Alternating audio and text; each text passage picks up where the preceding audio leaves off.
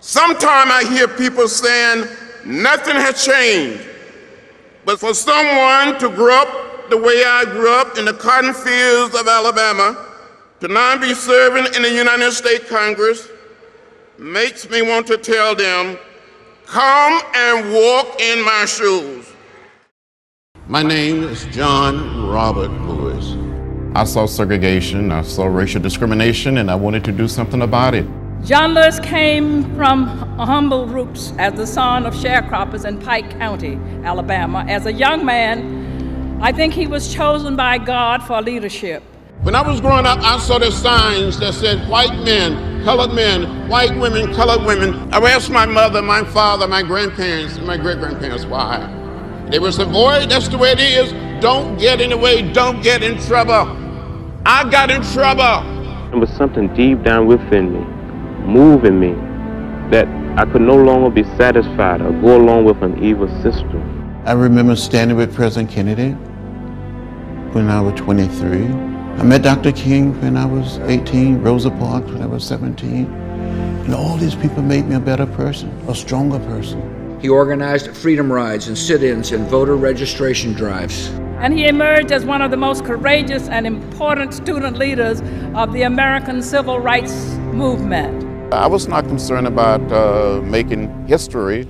I just wanted to change things. I have a dream today. John was also one of the planners of the Great March on Washington. Brother John Lewis.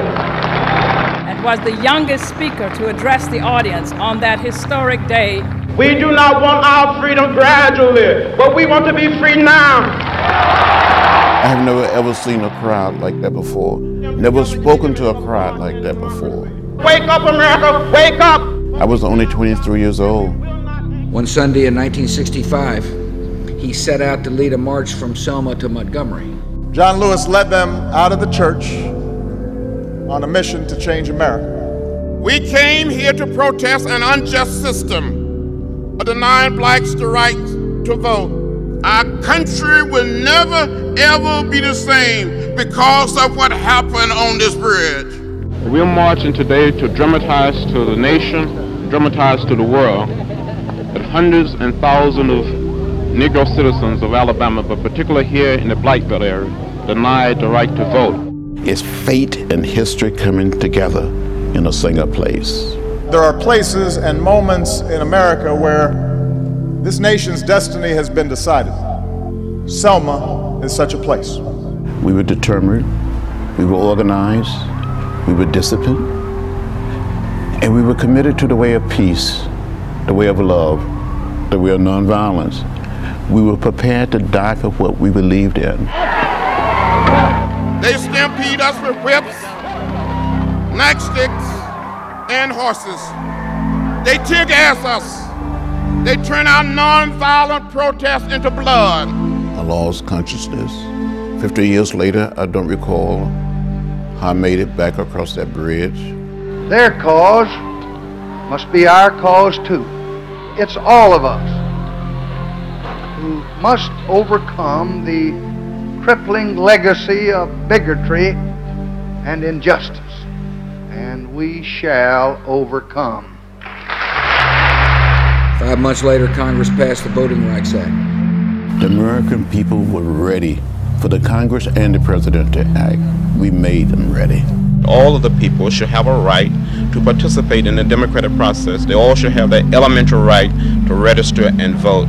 The Voting Rights Act of 1965 has been the lifeblood of, of the movement. America and the world need more of what is in John Lewis's heart. My philosophy is very simple. When you see something that is not right, not fair, not just, you have a moral obligation to say something, to do something. Stand up, speak up, speak out. If not us, then who?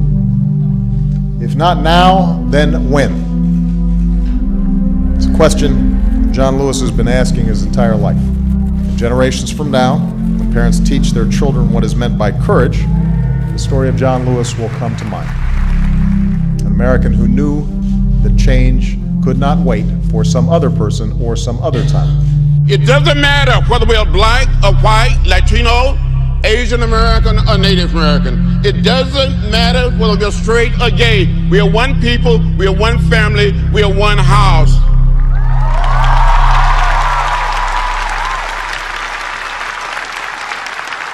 We've been saying we just want to thank him for his service, his sacrifice. He's one of the people who made it possible for me to sit at this desk. Yeah. We all owe him an enormous debt of gratitude. May John Lewis's memory be a blessing for all of us. That'll do it for us on this Saturday morning. Enjoy your day, everyone. Stay safe.